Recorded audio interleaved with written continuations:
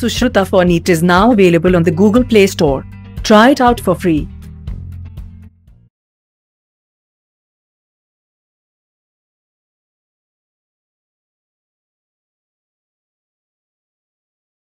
Hello, my dear students. Hearty welcome to this biology class. Me, G.K. Bhat. In today's class, we shall take up the evidences for evolution. There must be some proof for evolution. Yes.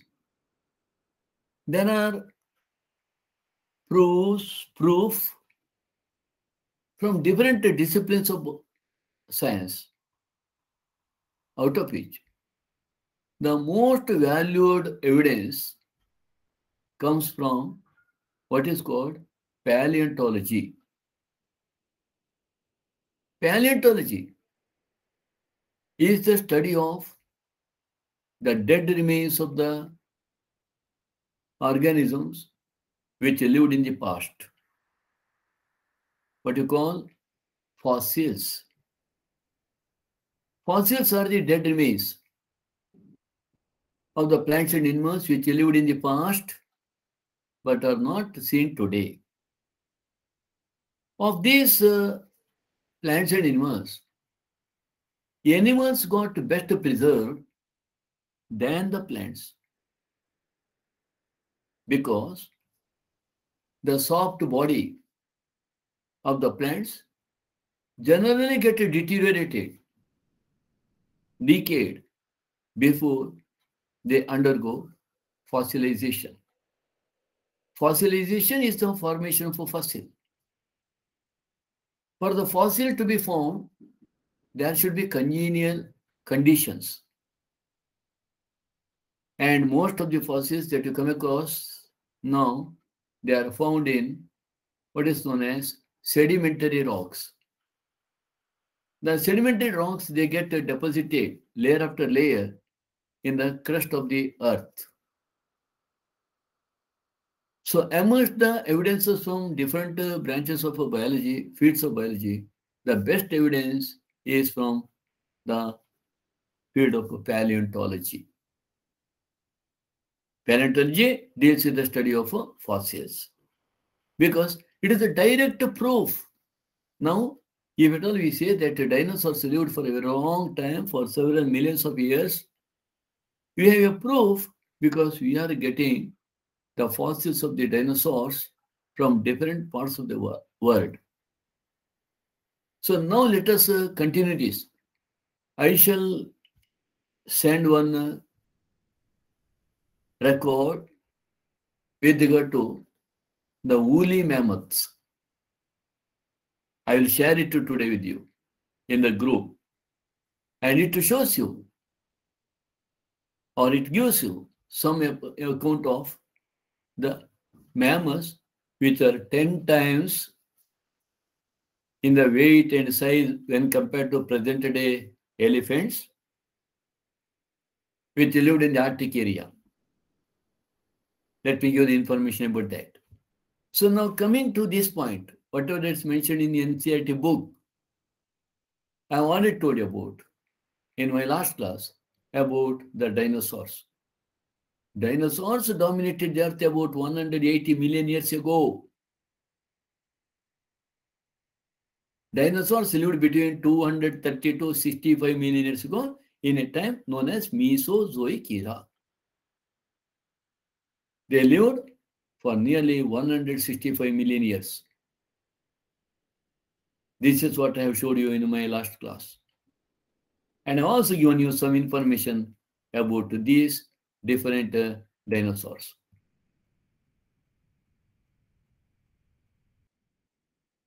And the questions in the last uh, year before last year, some questions asked on this dinosaur also.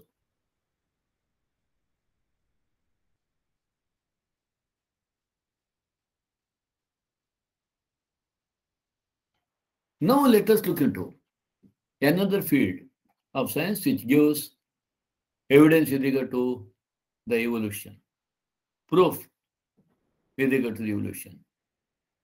comparative anatomy and morphology shows similarities and differences among organisms of today and those that existed year ago.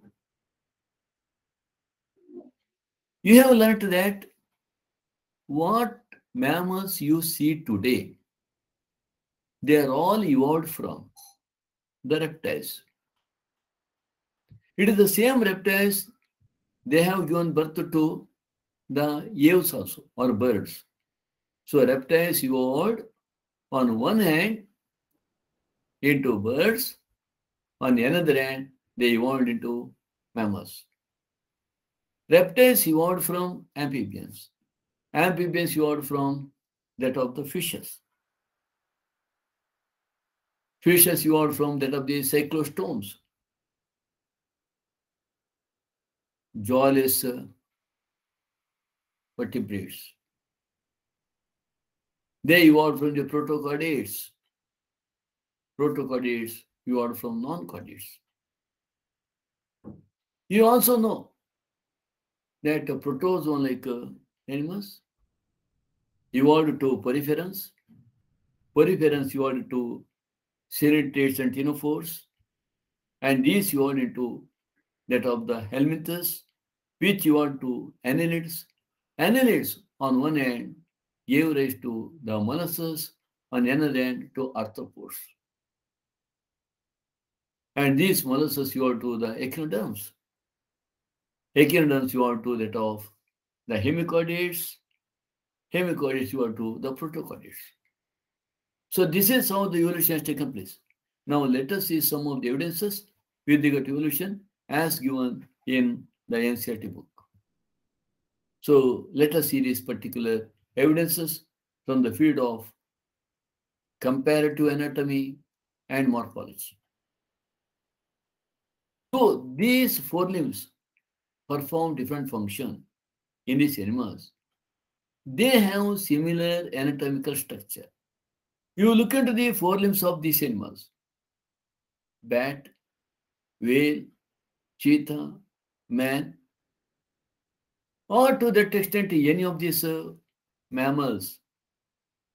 Look into the four limbs of the monkeys, four limbs of the horses, four limbs of the bat, four limbs of the whale, four limbs of the human beings. If you look into these four limbs, and to that extent the four limbs of the birds, four limbs of the reptiles, forelimbs of the amphibians, in all these, you will see the four limbs made up of same type of bones. Whether you take uh, amphibia, like a frog, or you take a lizard, or you take a any bird, or mammal. In all these animals, forelimb is made up of the bone in the upper arm called humerus, what you see here. The bone in the lower arms you have ulna, right? Look here. One minute. Okay. You have the bones here. What are the bones? Have you heard about that? In the first year? What bones you have studied? You have one bone here. You have, right? Next bones here. In the lower arm, uh, Anyone knows? Radius and ulna. There are two bones. And you have bones here, carpus, metacarpus, phalanges. In all these animals, look here of a man, cheetah, whale, bat. These are all the bones, same. This is what? Humerus bone. In all you come across humerus bone. And in all you come across radius and ulna. Radius and ulna. Right? Then you come across the carpals. Then you come across metacarpals and phalanges. Now, this is what we are telling here. Though these the limbs perform different functions in these animals, they have similar anatomical structure. All of them have humerus, radius, ulna, carpals, metacarpals, and phalanges in their forelimbs. What bones you have in your fingers? These are the phalanges. What bones support your palm region? These are the metacarpus. And what bones you have in the wrist region? These are the carpus. You have two bones here, radius and ulna. You have one bone here, humerus. And these bones are found in all these animals, right from amphibia to mammalia. What it indicates? Navya, what it indicates? Is it not that uh, frog is related to you or you are related to frog? No, sir. No. Then why that frog is having the same type of bone what you have? Don't you agree, Harshavardhan, Siddesh, amphibians were your ancestors, Prithviraj, Diti, Rakesh. If if we are not related, or if we are not evolved from the same ancestor, why that we have all of us we have same type of bones? Of course, structurally slightly different because they do a different function. What do you say? Kanisa? Blessy? Kavita? Do you agree that amphibians, reptiles, birds, mammals, all we have evolved from the same ancestor? Are you hearing me, Rakesh? Hello? Yes, sir. What do you say? Yes. Hence, in these animals, the same structure developed along the different direction due to adaptation to different needs. Your horse, in horse, the four limbs, they are adapted for cursorial mode of life. What is that cursorial mode of life? What is that? Fast running. Right? In monkey, it is adapted for climbing. So these are all adaptations, but basically they have same in structure. This is what is called divergent evolution, and these structures are called homologous structures. These structures are called homologous structures, and evidence in that evolution is called divergent evolution. That means they all evolved, especially all these mammals. You must know that all these mammals evolved from, all the present day mammals have evolved from what is called tree shrews. Tree shrews, small squirrel-like or bandicoot-like animal, tree shrews. And all whatever you see, the different types of mammals, they all evolved from these uh, tree shrews. And this is what is called divergent evolution, and these structures are called homologous. Homology indicates common ancestry. So, what are the homologous structures? Structurally similar, functionally dissimilar. Structurally similar, functionally dissimilar are called homologous structures. All of us, in case right from amphibia up to mammalia, the four limb skeleton structurally similar. Of course, with the adaptation, with the modification, because of the adaptation for different uh, mode of life. Structurally similar. Function similar because of the adaptation. This is what is called divergent evolution. From the common ancestor, animals arise and they take up different uh, life in different habitats. When they take up different uh, life in different habitats, their body structure undergo modification. Can you, are you following me? Yes, sir. Now, if you look into the brain, look into the brain and heart of uh, the animals. If you look into the heart of uh, fishes, heart is a two chamber, one auricle, one ventricle. Look into the heart of uh, amphibians, three chamber. You have two auricles and one ventricle. Crocodile and birds, four chamber, two auricles, two ventricles. Mammals, four chambered, two auricles, two ventricles. If you look into that, there is a similarity in the heart. In all, the brain is found of forebrain, midbrain, hindbrain. What parts are there in forebrain? What forms the midbrain? what forms hindbrain? Almost the same right from fishes up to mammals. That means all of us, we had common ancestor. All chordates had a common ancestor. This is with regard to the animals. In plants also, thorn and tendrils of bougainvillea and cucurbita represent homology, structurally similar. If you look into the thorn and tendril, structurally similar, and as an adaptation, hmm. functionally it is similar. Look here. This is what a heart of a fish, amphibian, reptile, bird, mammals, almost it is same. And this is what you have the brain. This is of cyclostome, lamprey, bony fishes, frog, lizard, bird. All these have the same structures in the brain, forebrain, midbrain, hindbrain. In all these midbrain is found of optic lobes. Forebrain is mainly found of uh, olfactory lobe and cerebral hemispheres. Hind limb is found of cerebellum and medulla. Why such a similarity is there unless they all evolved from the same ancestor? Do you agree now that we are all related? We are all evolved from the same ancestor? Yes, we have to agree. This is what I have. The thorn for protection in bougainvillea and a tendril for climbing in cucurbita. Structurally similar, functionally dissimilar. Very important, structurally similar, functionally dissimilar. These are called homologous organs. You'll be asked what is homologous organs and what is analogous organs. Homologous and analogous organs. Right? Clear? Now, homology is based on divergent evolution, whereas analogy refers to situation exactly opposite.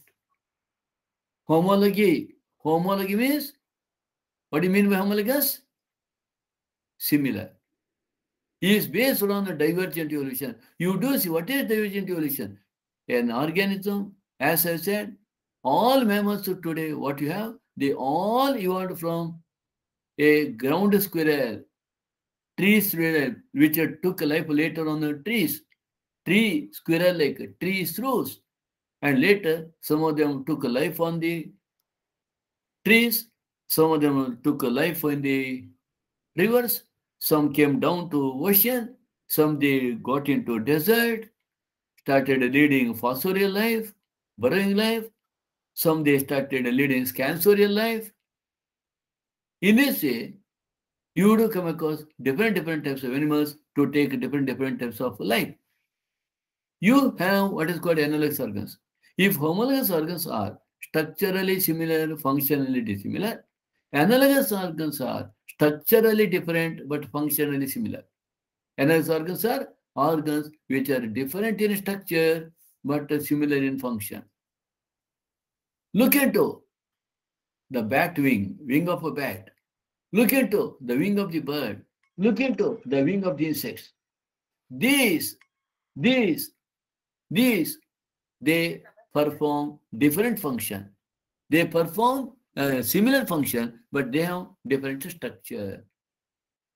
You cannot compare the wing of a bird with the wing of a bat and wing of an insect. Functionally, they are similar, but structurally, they are different. And this is what is called analogous organs. Analogous organs are organs which are structurally different, functionally similar. Homologous organs are structurally similar, functionally different. So wings of butterfly, bird and bat have different structure but a similar function.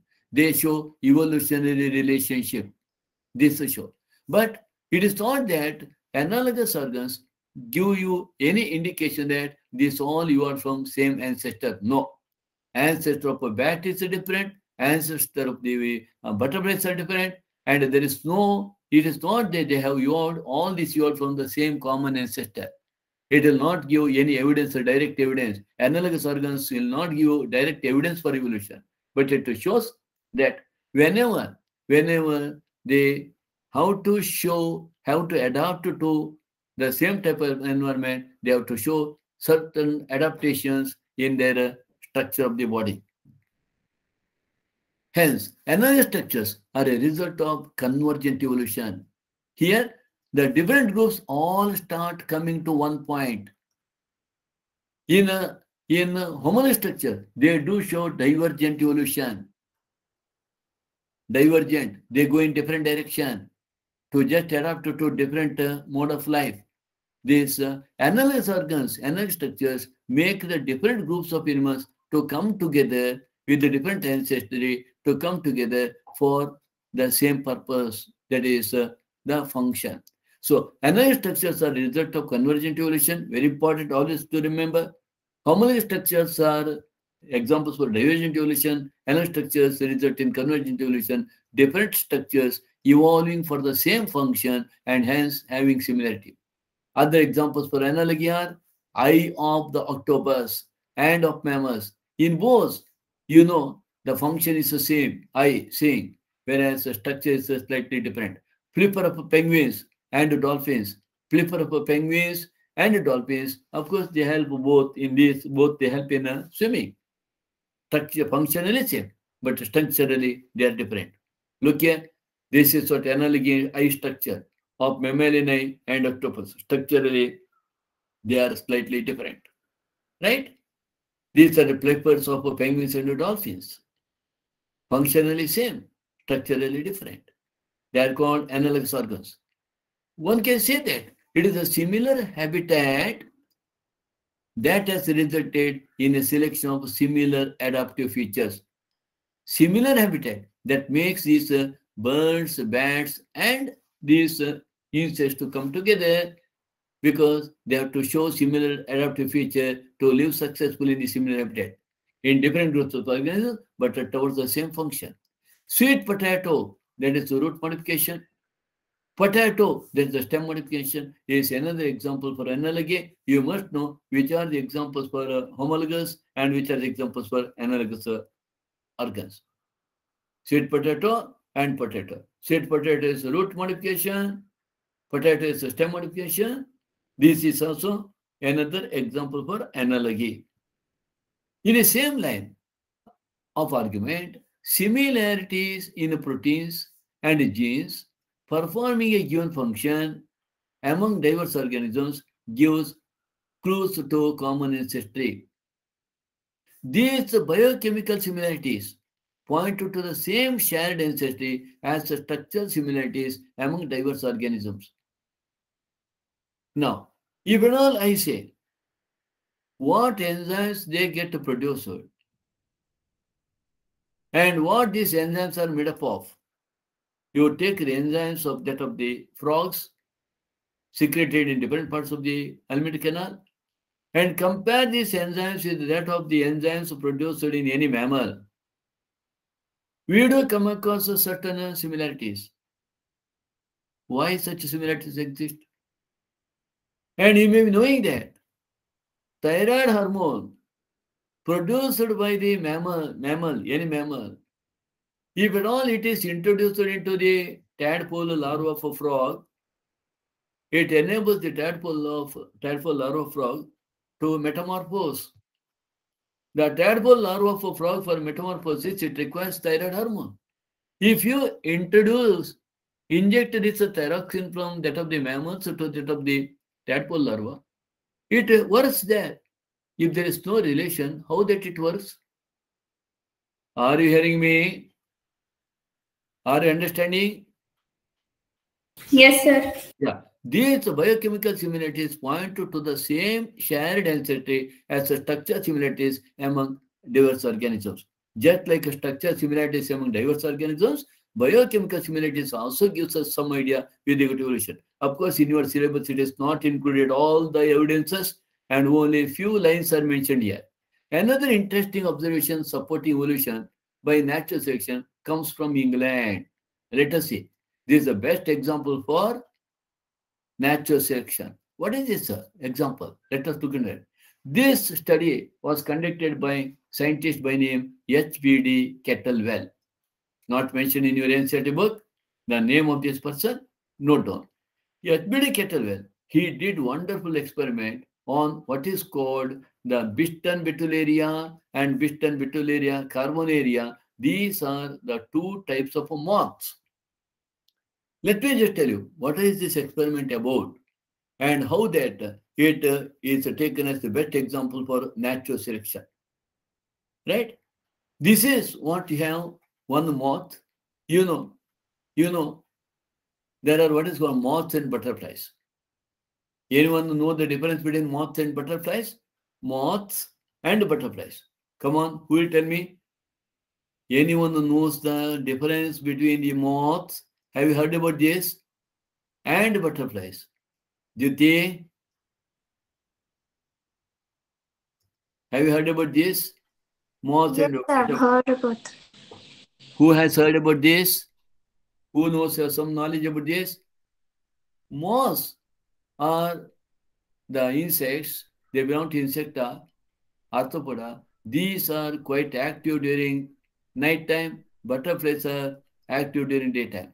What you see, beautiful insects flying around you, flying around the flowers, butterflies, and you see moths at the night time. These are nocturnal and butterflies are diurnal, active. Right? And always butterflies have club-shaped antenna. If you look into the antenna, at the tip of the antenna, you have club, this antenna with the club-like structure, a rounded structure, club-shaped antenna, and moths have, moths have feathery antenna. Have you heard about this? Navya? Navya? Yes, sir. Yes, heard or no? Yes, sir. I've heard about it. Whether revolution is over? No, sir. I heard about it in 10th, I think. Pardon? 10th, okay. So this is what? Feathery antenna and this is club-shaped antenna in the butterflies. Butterflies are beautifully colored. Moths are sober colored, dull colored. And whenever butterflies sit, butterflies always hold their wings parallel to the ground or they fold the wings and bring back both the wings, fold the wings on the back of the body. And moths always hold the wings at the sides of the body. Anyhow, these are some of the differences between moths and butterflies. I am now just telling about you Biston betularia and Biston betularia carbonaria. These two species names are not mentioned in your NCERT book. Species names are not given. Biston betularia, Biston betularia carbonaria. Can you see the Biston betularia carbonaria here? This is Biston betularia. Peppered moth, white colored with the black black dot there. And this is what you have Biston betularia carbonaria, dark colored moth. Right? Now, what is it? What is the situation here?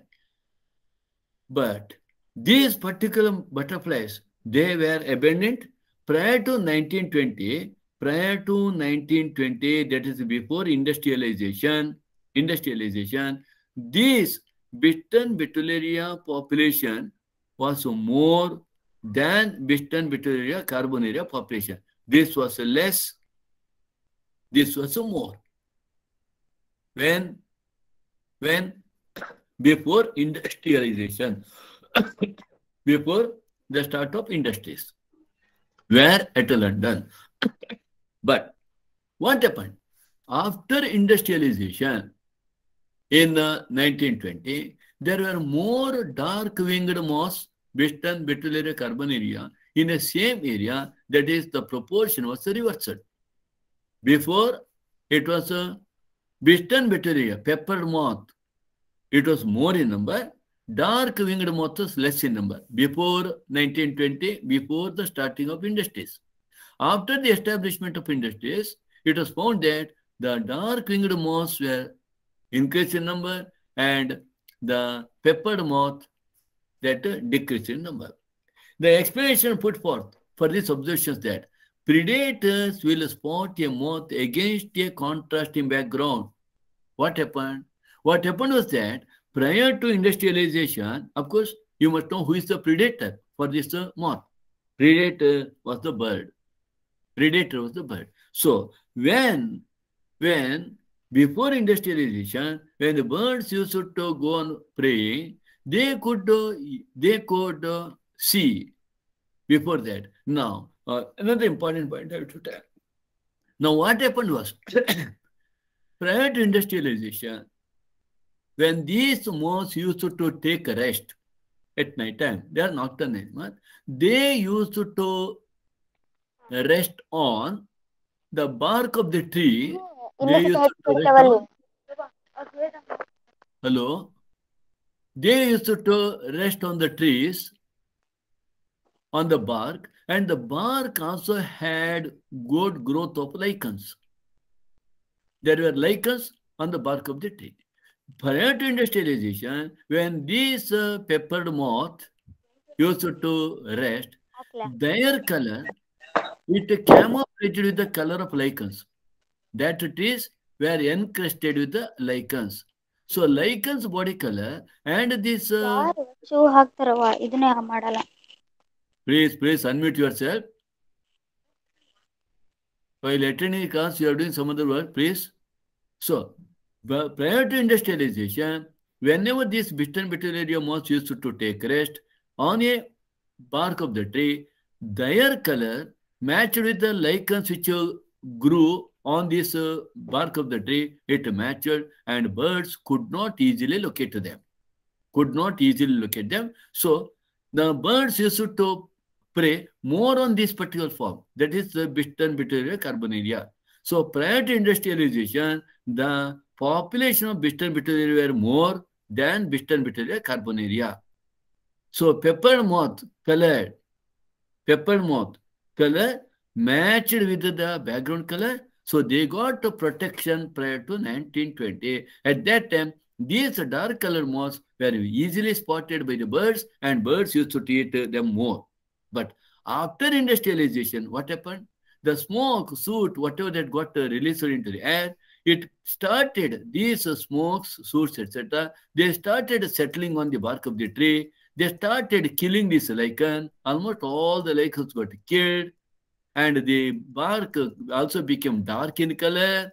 And, and uh, under these circumstances, when the pepper moth used to rest during night time, they got easily spotted, and these dark colored moth were, were actually did not get recognized by the bird. So after industrialization, the birds used to play more on them, more on them, because they were easily spotted by the birds, and these, the dark colored moths, were not at all spotted easily by the birds.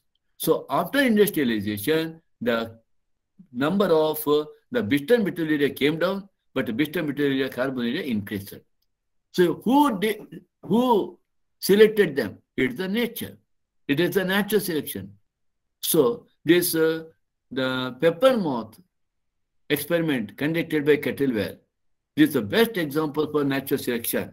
Have you understood this? You see, the expression put forth that during post-industrialization period, the tree trunks became dark due to industrial smoke and soots. Under this condition, the white-winged moth did not survive due to predator. Dark-winged or melanized moth survived. Have you understood this?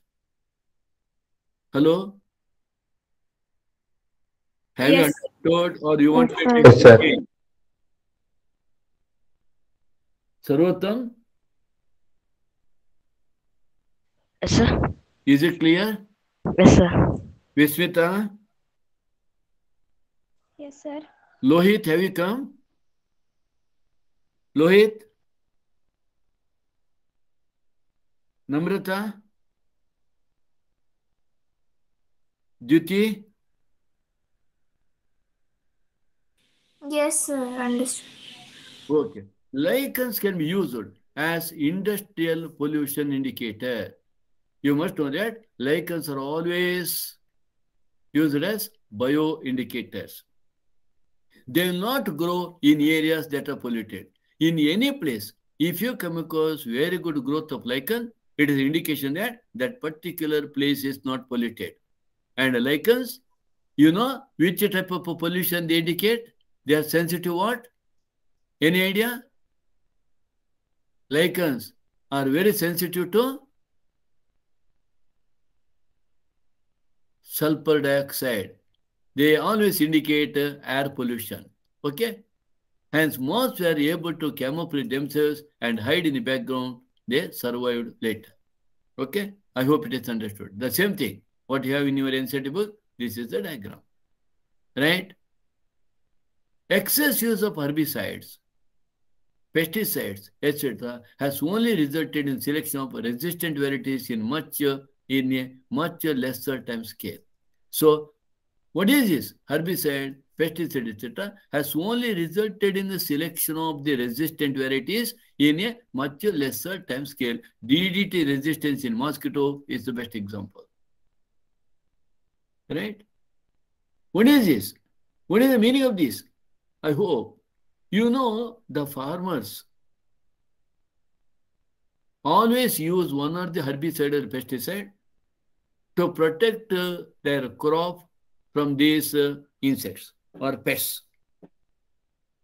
Whatever the spray that they use, chemicals they use, these chemicals, what you call pesticide, insecticide, herbicide, etc., these chemicals work best only for few years.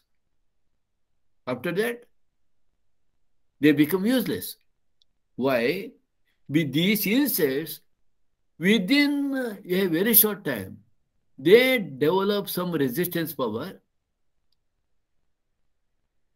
And these uh, insects which evolve with the resistance power, they somehow survive from these uh, repeatedly used same uh, insecticide.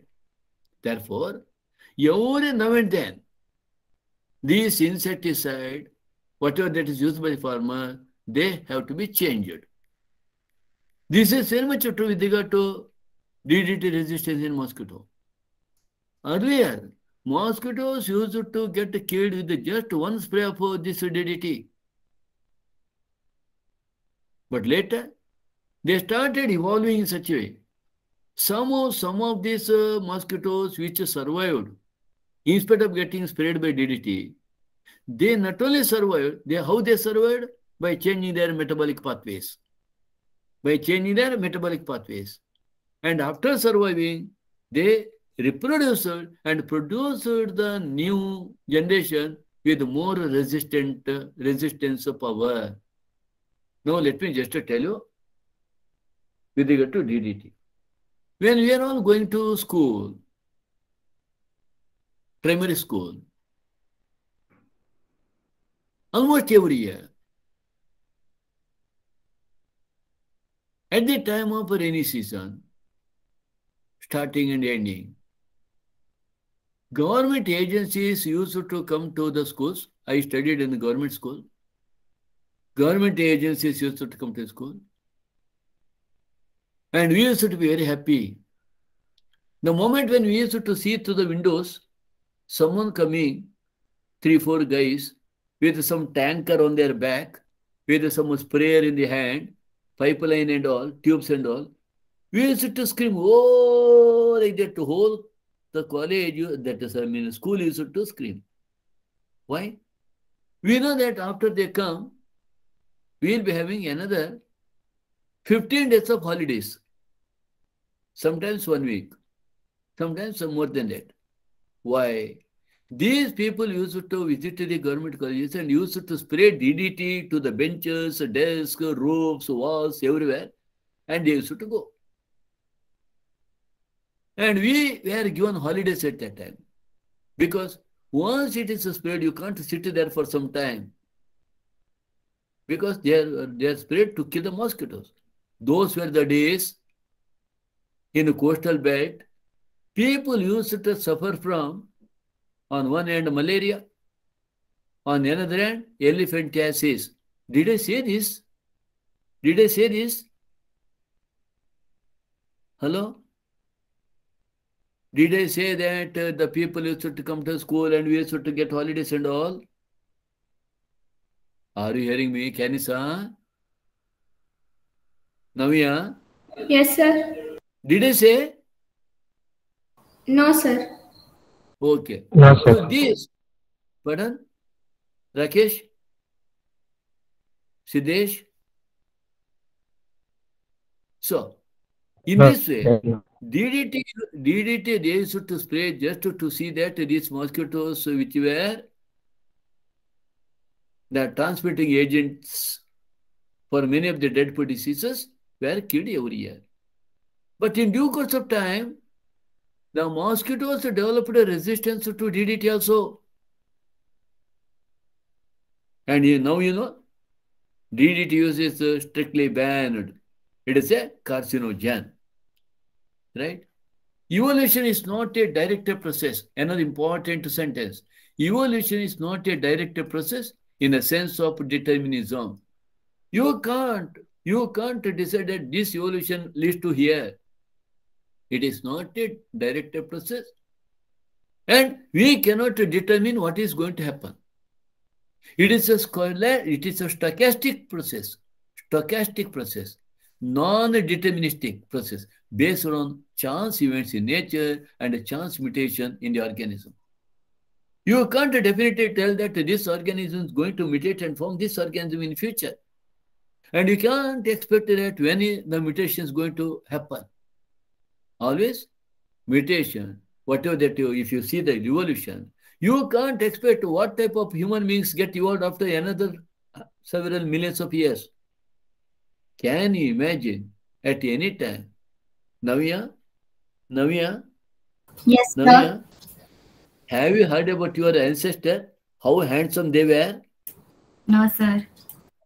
No? Have you heard about uh, Australopithecus, Neanderthal people, Yes. Neanderthal man, Cro-Magnon man, Homo habilis, Homo erectus? Have you heard about them? Yes, sir.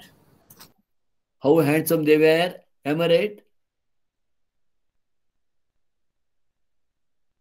Whether the present generation is handsome or uh, they were handsome. You may not agree, Navya, if I will show a Cro-Magnon man and Neanderthal man and say that it is your grandfather's grandfather. Do you agree? Are you going to agree? No, sir. Why? Why? Why? They were with uh, protruded jaws, walking like this and all. What is a blessing? So you can't expect how we are going to evolve after several years. So evolution is not a directed process. It is not uh, a deterministic process. It is a stochastic process based on chance events in nature. There is no guarantee that the evolution is going to happen. When happens, what happens after evolution, we don't know. We cannot predict it. What is adaptive radiation? During his journey, Darwin went to Galapagos Island. Very important. I have mentioned about another scientist. Who is that? Yesterday's class. Which island he visited? Janani, Janani, have you come? Yes, sir. Janani, who was it? I mentioned about one scientist yesterday. Hello, Sir, Wallace. Wallace. Which island he visited? Malay. Malaya archipelago. During his journey, Darwin went to Galapagos Island. Of a particular interest, small black birds about the size of the sparrow, later called Darwin's finches, amazed him. What is the Darwin finches? So, he noticed some birds, small birds in the Galapagos Island. You must remember that this Galapagos Island is a cluster of islands, about 20 to 30 islands together. They are called Galapagos Island. It is not one island. So, shall we go there? Okay. This is what Galapagos Island have. And this is the mainland of South America. What happened? When Charles Darwin was in Galapagos Island, one of the first thing he noticed is the variety of finches, a bird, finches, that existed on each of the island. I said it is a cluster of islands. In each of the island, he noticed a particular variety of birds with what is called finches, variety of finches. all in all, there were many different species of finch which differed only in two structure, beak shape, overall size. In all other respects, they are same. And only one thing he noticed, no difference is that beak size, beak shape, overall size. What is that? What might happen? These, which are called Darwin's finches, these are considered as the best examples for adaptive radiation. What is adaptive radiation? Adaptive radiation originating from one ancestor, originating from one ancestor, originating from the same ancestor, then radiating, going to different habitats and forming different species, different varieties. Adaptive radiation, they radiate in a different line as a result of adaptation. Because of adaptation, they just start forming different different groups from one particular ancestral group. So Darwin's finches are considered as the best example for adaptive radiation. This adaptive radiation and natural selection was found at work here in this island. What is that? Let me just show you. These are all different islands together called Galapagos Islands. Okay, Galapagos Islands. And Actually, whatever the whatever the finches he has noticed in different islands, they all evolved from one ancestral seed-eating ground finch. So what happened? From the one ancestral, one ancestral seed-eating ground finch, he noticed the evolution of around 15 different species from the one ancestor species. What might happen? Let us see. This process of evolution of different species in a given geographical area, starting from a point and literally radiating to other areas of geography or habitat is called adaptive radiation. Very, very important. If it is asked, what is adaptive radiation? Right? What is adaptive radiation? Starting from a point, evolving into different species, one particular point, one particular species, evolving into different species in a given geographical area, literally radiating to other areas, is called adaptive radiation. From one species, many species get evolved. Right? Darwin's finches represent one of the best example for this phenomenon. What is that? Adaptive radiation. One particular species located one geographical area, evolving into different species by radiating, going to different habitats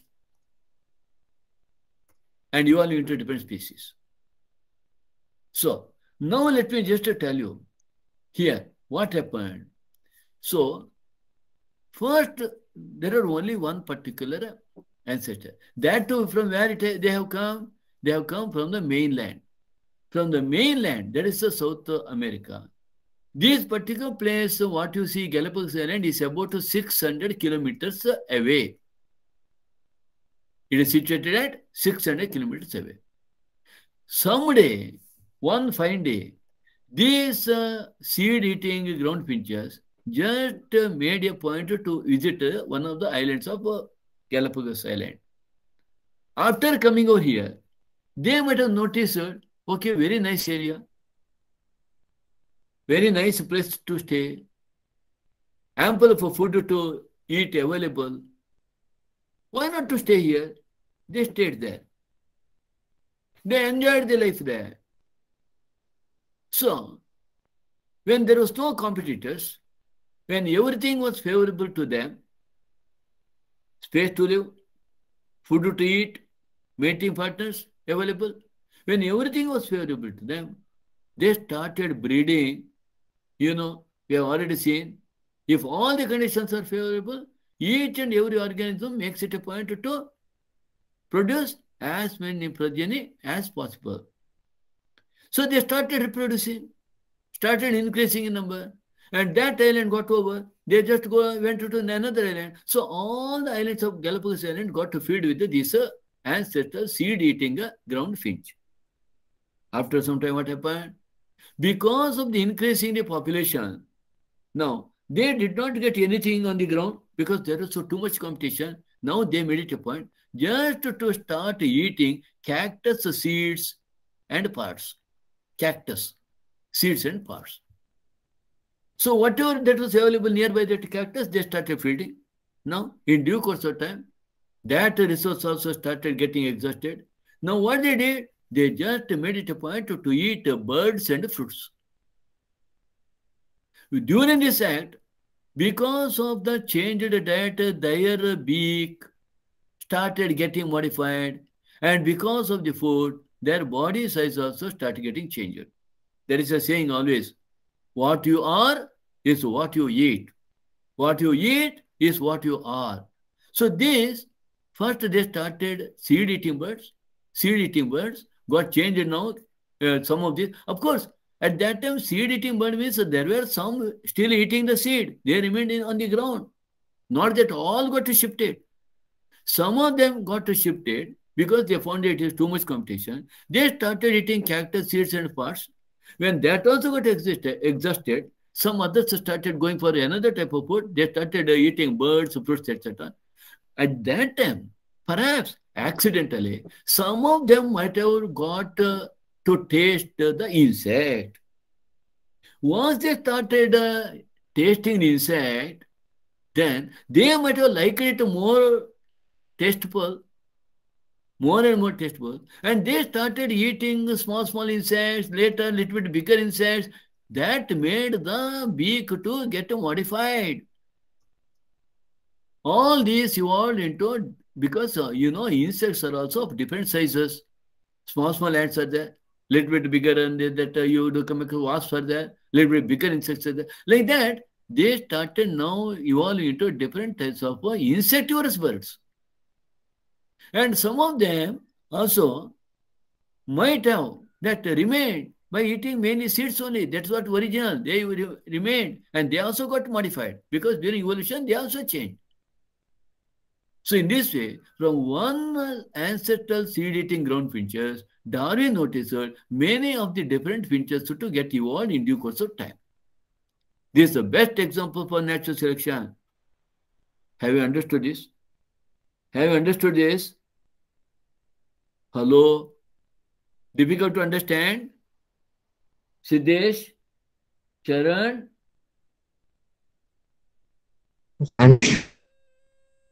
Pardon? Rakesh? Understood, sir. Understood. Harshavardhan? Vismita? Yes, sir, understood. Shall you go ahead, Prithvi? Yes, sir. Okay. Another example is of Australian marsupials. What is this? A number of marsupials. I hope you know. I hope you know. Cas mammalia, Canissa, you know. Canissa, Yes, sir. Cas mammalia includes three subclasses. You know? You know? Who knows? Subclass 1. Anyone knows? Anyone knows? Subclass 1, Prototheria. Prototheria includes what? What? What? Egg-laying mammals. Have you heard about egg-laying mammals? Why, Navya, you are keeping quiet? Subclass 2? Subclass 2? Metatheria. Metatheria is also known as marsupialia, which includes kangaroo-like animals. Kangaroo-like animals. Subclass 3, Eutheria. Theria. Eutheria is also known as Placentalia. placentalia, which includes all mammals, whatever you have in India, all present-day mammals found in India, they come under subclass Eutheria. So now the members of marsupial, a number of marsupial, marsupials are marsupials are metatherians. And these are mainly found in Australia, New Zealand, South America, etc. Okay, so a number of marsupials, each different from the other, evolved from an ancestor stock, but all within Australian island continent. Okay, look here. This is what? From original marsupials, one marsupial, you do come across all these different types of marsupials to evolve. Sir, Pardon? sir, can you show that slide once again? Which one? The the one, yeah, this one. Okay. I have not taken on.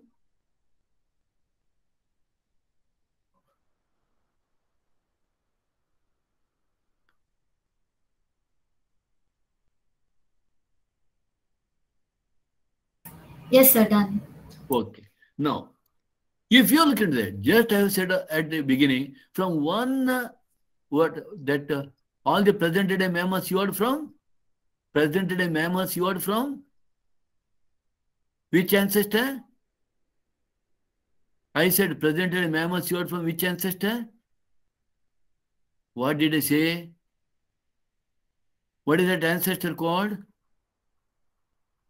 Hello? I said that uh, I have written that also. Who will tell me?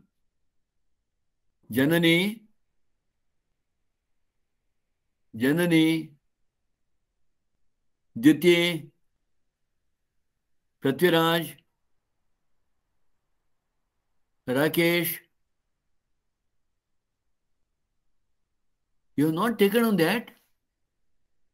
It is very bad if at all you are not taking on the points. Sarottam? Sir. Siddesh? Vismita? Yes, sir. What is that? Mammals evolved from reptiles. No, I have mentioned one mammal. I said that uh, it was very much small, like uh, the squirrel or a small bandicoot. Trish, Then why, why that this much of time you took? So, as I have, as you have seen, many of the present day mammals to evolve, aquatic mammals, arboreal mammals, fossorial mammals, cursorial mammals, from through echinacea. In Australia, if you see that marsupials, marsupials also evolved from one ancestor, and you do come across all different types of marsupials here. And all these, they they started their life in different habitats. And to adapt to different habitats, they showed structural modification, structural changes. Right? This is what you have adaptive radiation of marsupials. You are supposed to remember all these examples, all these examples. Wombat, kangaroo, marsupial rat, banded anteater, tiger cat, Tasmanian wolf, sugar glider, marsupial moth, koala, koala. Right? They all evolved from the same ancestor. When more than one adaptive radiation appeared to have occurred in an isolated geographical area, one can call this convergent evolution. When more than one adaptive radiation appeared to have occurred in an isolated geographical area representing different habitat, one can call convergent evolution.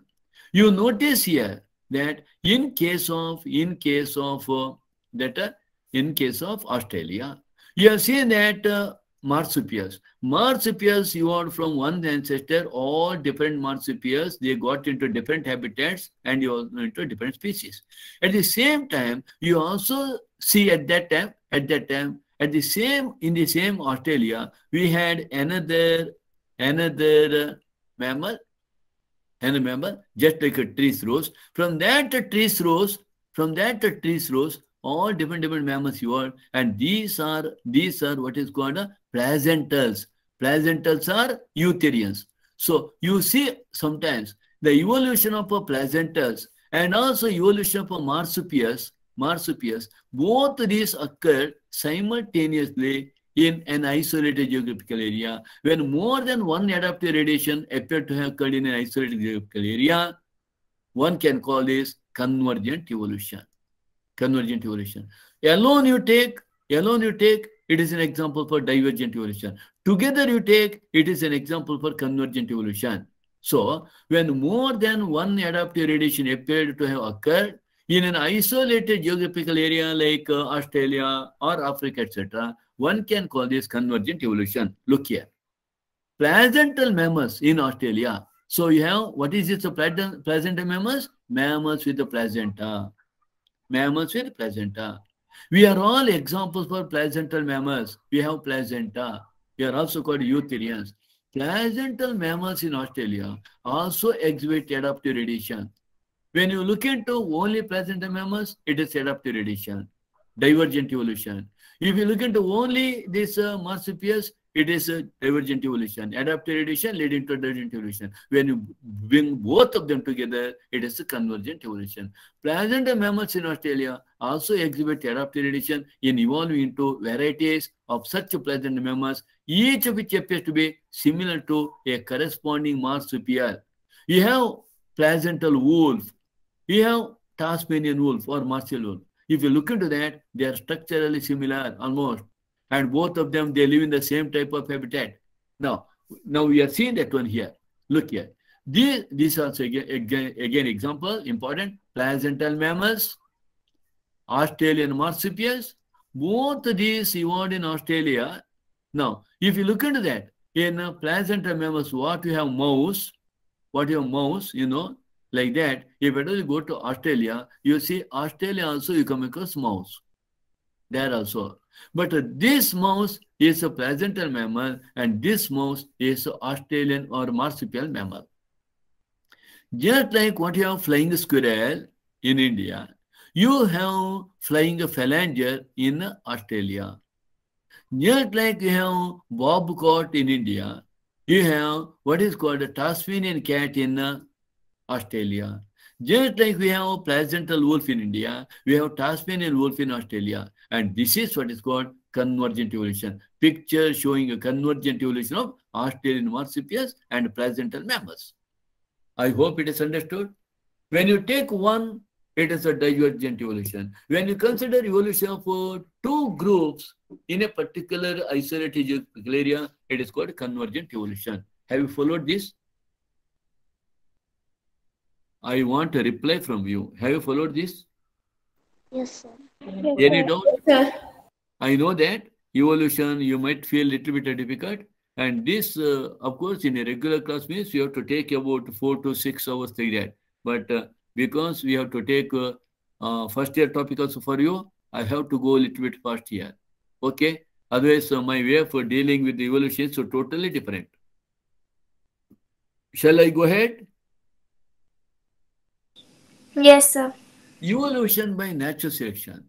Evolution by natural selection, in a true sense, would have started when cellular forms of life with the differences in the metabolic capability originated on Earth. Evolution by natural selection, in a true sense, would have started when cellular forms of life with the differences in the metabolic activity capability originated on Earth. Now, when I said, I said, what all you are from where and what you are doing to what? I said, protozoans you are into poriferans you are into coelenterates and uh, and this you are into the helminths, helminths forms you are into annelids like that. I said the reptiles you are into birds on one end and mammals on the other. Now the question is that when evolution start, you must know that evolution by natural selection. That means it happened on its own in nature. Nature selects your thing. If at all you want to understand better, if at all we are surviving today, even without taking vaccination for corona, who selected you? Who selected you? When a lot of people died of corona, if at all you are surviving, who selected you? Who enabled you to survive? Nature. Nature. This is what a natural selection we mean. Okay? So, whenever there is a pandemic situation, if at all we survive in that particular condition, that means we are better adapted. We are with the better resistant power.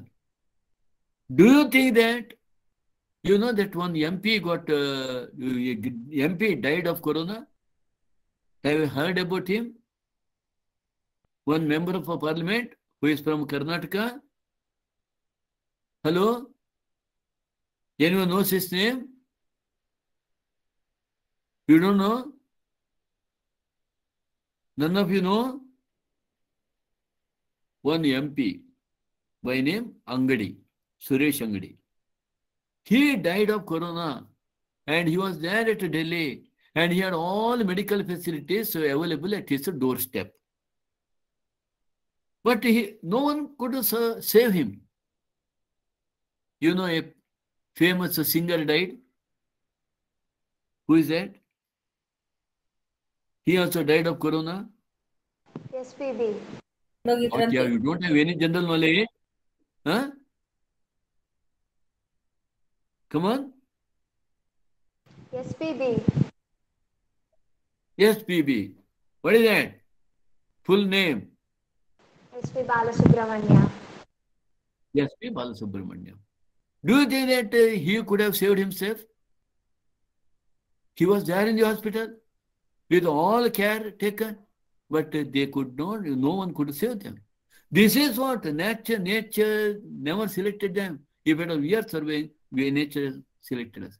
Evolution by natural selection in a true sense would have started when the cellular forms of life, when the cellular forms of life with the differences in metabolic capability originated on Earth. That means right from unicellular life.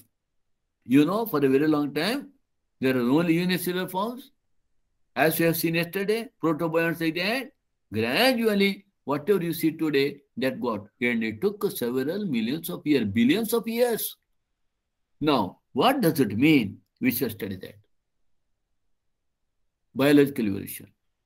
The rate of appearance of new forms is linked to the life cycle or the lifespan. The rate of appearance of new forms is linked to the life cycle or the lifespan. What is this? What is this? New form in the sense of new species. Rate of appearance of new forms is linked to the life cycle or the lifespan. How big is the lifespan of the organism? How big is the life cycle of an organism? Based on that, the rate of appearance of a new form will be there. Have you read it any time? Have you read it any time during your 18 years of life? 16. Because uh, girls never reach 18. 16 years of life. Or have I seen during the past uh, 60 plus years of my life, I have not encountered in any newspaper or in any of these uh, TV channel that a new species of human beings was discovered. Or have you read anywhere recently, now and then, very now and often, a new species of mammal got to discovered? If you look at that, which one you will find always more and more? Is it a mammal? Is it a bird? Is it a reptile? Is it amphibian? Or is it fishes? Or is it some other animal? Always. If you look at this, new species uh, discovery is more in a number when you look into the lifespan of that organism is generally small one. Microbes that divide fast have the ability to multiply and become millions of individuals within hours. My question, can anyone answer me? Why that new species evolve more in the organisms whose life cycle or lifespan is so small, short, than the animals whose lifespan is so long. Come on. Who will answer this question? I hope you understood my point. You understood my point? Or to make it very clear, I shall tell you. You see that if at all you see every alternate week in the in the scientific journal, we encounter dozens of new and new species of insects getting discovered. Very few new species of fishes gets discovered.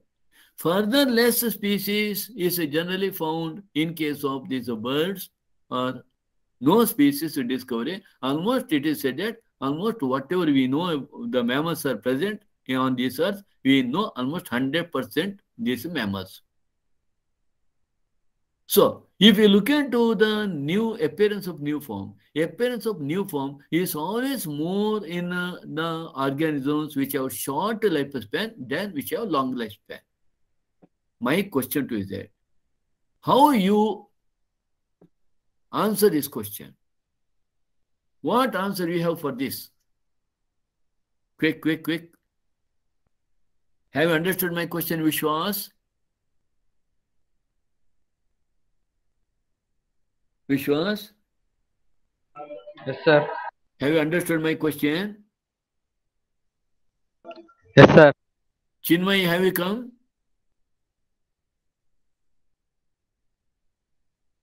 Navya, can you answer?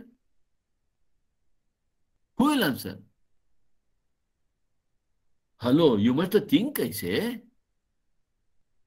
So if you look into that, now the animals which have shorter lifespan, shorter lifespan or shorter life cycle, that means now you know there are some insects, most of the insects they breed within 15 days of their birth.